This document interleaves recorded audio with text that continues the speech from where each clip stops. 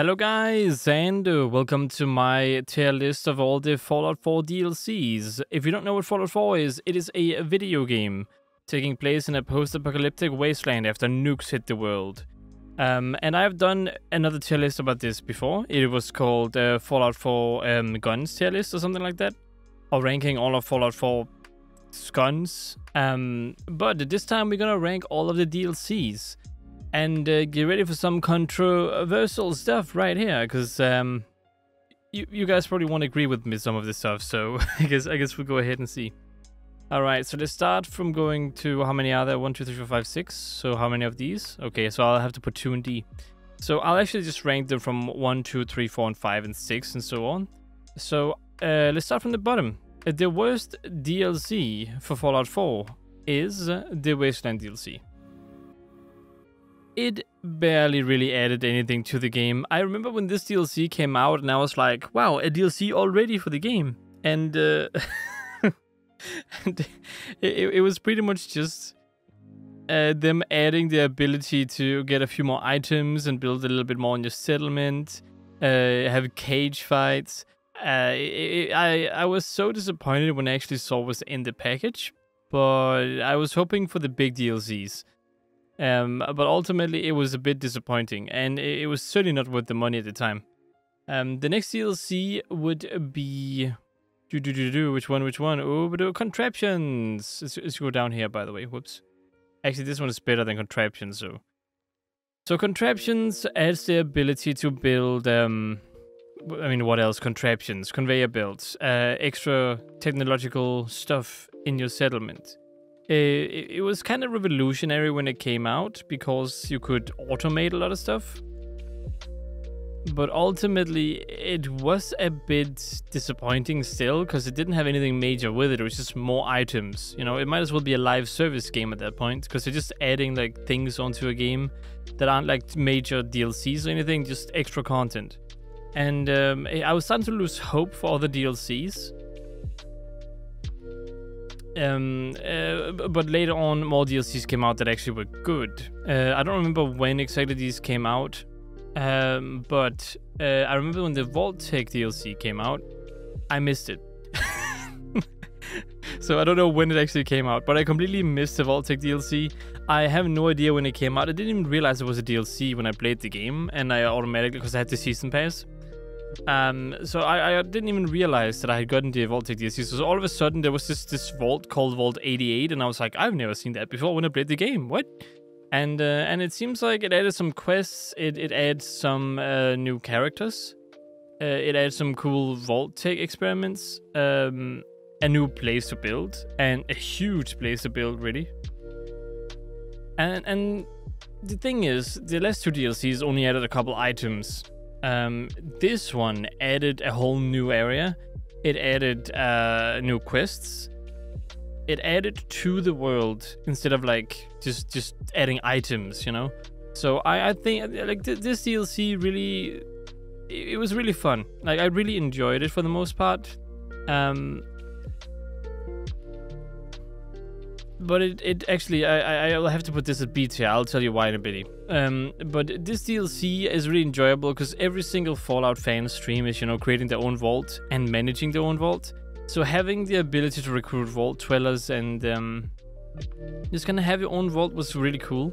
I'm just a bit saddened that it didn't expand on it more because it could have done so much more in the vault that, you could have actually had a proper vault with uh, automated systems and everything. But but you, you can technically do that, but it wasn't a requirement in the DLC itself. And it's a bit underwhelming for being like about Vault-Tec. It's not exclusively like Vault-Tec stuff. It's just building a vault when the uh, wasteland has already been affected by the nukes and and it, it, it has it had promise it still has promise they just didn't expand on it. Like they could have done so much with it. Instead of having your own vault, you could, you could have had multiple vault systems. You could have had a another vault somewhere. You could have like a specific network of vaults. Or even better, uh, you, could have a a vault where you can make up your own experiments with items from the game, like the uh, the freezing people or the um, or putting or making synths or something like that. They could have had uh, different things like that. They could have added to it, but they just didn't. uh, on needs to be said, I'm not planning on this video being super long because I aren't a lot of things to talk about. But uh, knowing me, I might make it 20 to 30 minutes long just because I talk too much. So, um, anyway, um, I, I really did enjoy that DLC. Uh, the one that's below that is the Automatron. Now, the Automatron DLC kind of went a bit above and beyond because it, it expanded on what Vault-Tec did, just with a less interesting system.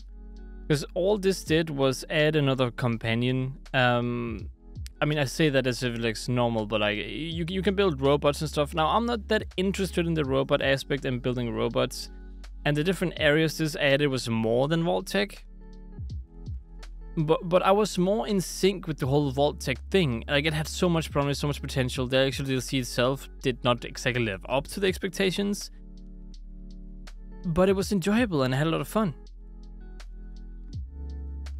So I, I, I will say that the Vault-Tec one just had more of an effect on me personally. I mean, if if you look at the content itself, you could probably swap them around.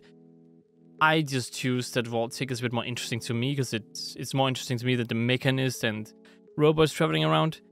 Uh, but anyway, it added new quests, uh, new robots, new characters, two new companions technically, and then you can have any robot companion you want, and you can modify robots.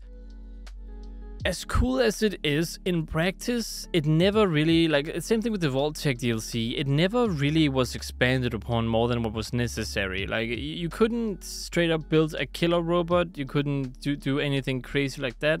It was just here's a couple parts, here's something. It took modders to kind of make the system better, uh, but even modders can only do it so much, you know, take it so far. Uh, so again, uh, Bethesda kind of didn't go above and beyond. They kind of just did necessary stuff to make the DLC go out the door, and and it shows in both of those DLCs. Uh, so so it, it saddens me when I see all the potential in these two, and it just didn't live up to it. The Automatron one, especially, had so much potential. But all you really did in the quest was go to this location and kill these things, go to the next location and kill these things. You pretty much just did that over and over and over again.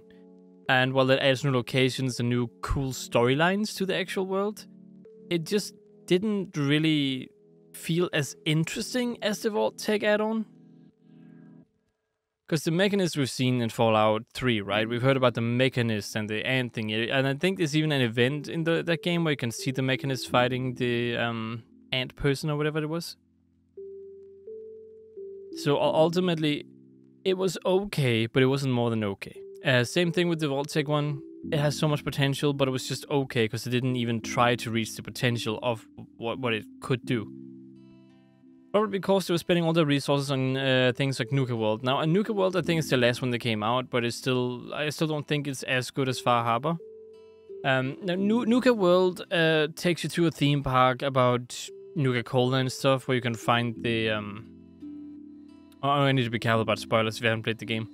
Um, it takes you to a theme park centered around Nuka Cola, uh, where they are using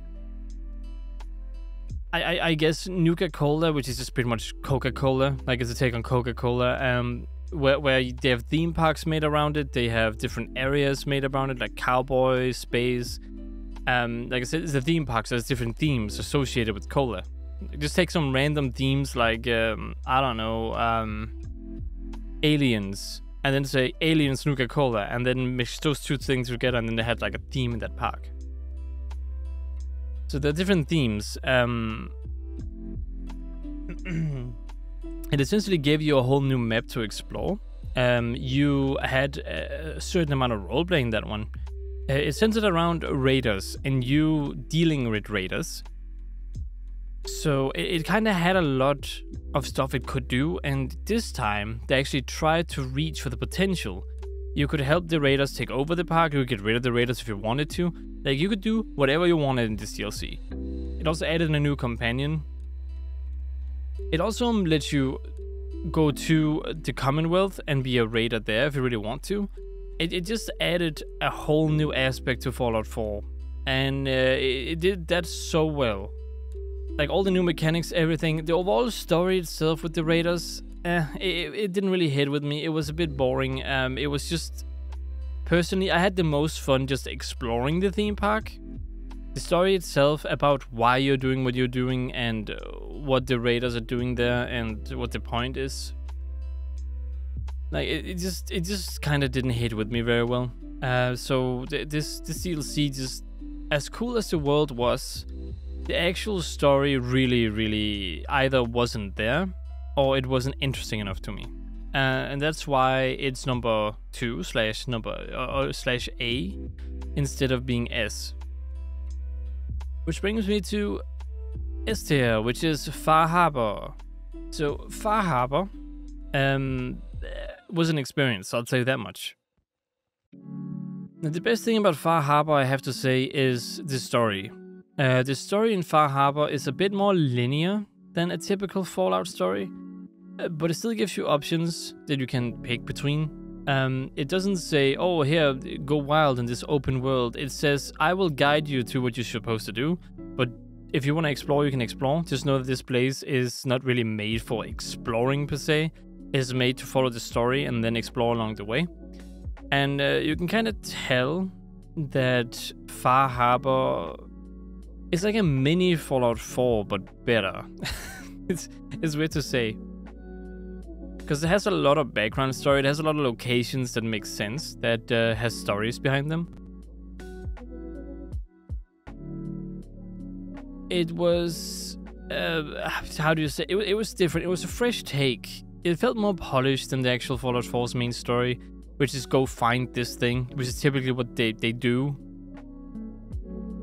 Uh, but in Far Harbor, it's more about dealing with the fact that, again, I'm gonna try to avoid spoilers, but there are synths on the island, and uh, and people have to survive a deadly fog, and you have to help them survive the deadly fog, and it's kind of it, it, it's crazy how they kind of orchestrated that, and it's all because you're just investigating something, a missing persons case, really it, just goes from being a typical case to going further and further up to being, oh my goodness, I didn't even realize this was possible, like scenario. And it just keeps growing, growing, growing. And that's why I kind of like it, because it just kind of goes from zero to 10 really fast when you're there. And, and, and you feel the brutality of Far Harbor more than you feel the brutality in Fallout 4. Because in Far Harbor, it is pretty much you see people eating people. You uh, see trappers, which is just people who's gone crazy because of the fog, who who have pretty much turned raiders, but they don't really raid because they can't. They want to. They just raid because they have gone crazy. And and I just felt like Fallout 4 lacked that aspect of like, this is a wasteland. People die here. This is a bad place to be. In Fallout 4, it felt more like oh, this place, oh, we, we, we're fine. There's not really much going on here besides the Glowing Sea. But no one goes near the Glowing Sea, so most people are fine. And uh, we have this whole Diamond City thing going on, and no, not a lot of people have problems there. But then you actually travel around the world, and, and, and you get attacked all the time, and it's just weird to think that everyone in the Commonwealth are a bit better off than I've ever seen in any other Fallout game. Uh, and, and that's without counting the NCR, because the NCR is a huge faction. This is just individuals that are bit off. Uh, there is no big faction, this is Diamond City. Um, and then Brotherhood of Steel. But even Brotherhood of Steel is just kind of chilling in an airport after taking it over. You didn't even help them take it over, you just kind of, they took it over. Uh, I don't know if you can help them, maybe if you travel there really fast and before they, they get there. But Far Harbors just kind of lures me in. It gets me interested in the story and the side stories and the characters too. There are a lot of different characters that are interesting to learn about. And then your actions actually change the world somewhat. Same thing with Nuka Cola or Nuka, Nuka World, I mean. Things also change the world in that one. But in this one, it was more personal. Um, it, it, it was more like you helped a person out, you saw a thing change on the map uh, now, there is only one quest that really does that. Or one person that you can do quests for that really does that. And it's kind of cool when you see the change take effect. Uh, same thing with when you do certain things there. You get new dialogue opening. Uh, or you open up new dialogue. And then you gain the trust of the of Far Harbor. And then you have three different factions there. The Children of Adam, the Synths, I'm just gonna say. And then the, the people living there. And you kind of just have to try to deal with the fog too. Like there is this fog, and the fog is your enemy, but you also have the creatures in the fog. Like it has this spooky atmosphere, but at the same time, it is it's it's the same as Fallout 4. It's just now you have fog. Um, but humans and people cannot really live in the fog. I I like the twist. I like the danger. I like the feeling of helplessness in that one. It feels like a wasteland, even though it's just an island pretty much. Where does the fog come from? I don't think that was ever really established. I think it was produced by a creature called Fog Crawler or something. I'm, I'm not sure if that was what it was or if it's just because they live in the fog. Um, or was it a machine that produced the fog? I don't remember how the fog came there, and I probably shouldn't spoil it anyway. Um, but the fog is is something you should avoid in that game. But but technically, it's not that dangerous. It's just more radiation the more you walk in it. So technically, the crazy people just irradiate the people but they really had the whole feel down. They just didn't have the gameplay feel down. Like when you actually traversed the island, it was fairly easy. Not too much, but there was a lot of world building and storytelling in each location you went to. Fallout 4 had the same, but it didn't have the same. It didn't have it to the same extent as as Fallout New Vegas and some of Fallout 3's locations. Fallout 4's locations don't serve much of a purpose, they're just places you go, where New Vegas and Fallout 3, they kind of serve the purpose most of the time. Otherwise, they were just areas you could go into if you really felt like getting loot and stuff. Um, but ultimately, uh, Far Harbor is my favorite DLC that they've made thus far in Fallout 4. If we're gonna talk about the other video games, New Vegas and Fallout 3, I don't think these DLCs kind of reach the same level of immersiveness and effort. But that's besides the point. Far Harbor to me is a great story. Uh, the story in that one is way better than any of the other Fallout stuff. Nuka World has the best world. Uh, new, new world they've created, in my opinion. And, and those two things are kind of what differentiates them. What do I value more of those two things? You can clearly see that I value the story a little bit more in Fallout specifically. Now, if it was any other game, I think I would value the actual world a bit more. But because it's an RPG, I need to feel like I'm part of the story or uh, that the story takes place without me there and stuff like that. Sadly, it never really gets to that point, but I can feel like in Far Harbor the story has already developed a lot. Without me being there. Like, it doesn't actually develop, but it feels like it does. Nuka World, you're center of the you're like you're, you're the center of attention in that one, and um, I don't like being the center of attention. I just like being a person in the world, not the world being me. So um, yeah, Th- those are my. I, I, guess this is my tier DLC thing, uh, my tier list of all the DLCs for Fallout 4. Uh, I hope you guys enjoyed watching. Um, what which DLC do you prefer? Uh, do you like Far Harbor, Nuka World? Maybe you like Vault-Tec or even Automatron more for some reason. Uh, I don't dislike it. If you do, it would just be interesting to hear why. So you can leave it in the comment section. Maybe Automatron because it changes the normal Commonwealth to be a bit more dangerous. Also a little bit annoying. Um, and perhaps maybe you just love the new items they added and you felt like that was good enough. You know, um, I won't blame you for that either. One thing's for sure though, they should have added more content to the game, or at least I feel like they should have, and I feel like this should have been cheaper for what we got. Because uh, Fallout 3 and Fallout New Vegas, just their DLCs really expanded the world. This just felt like separate entities from the world for the most part. But uh, yeah, um, hope you enjoyed. Hope to see you in another one of my Let's Plays. Consider liking, subscribing, and sharing. And as always, stay awesome.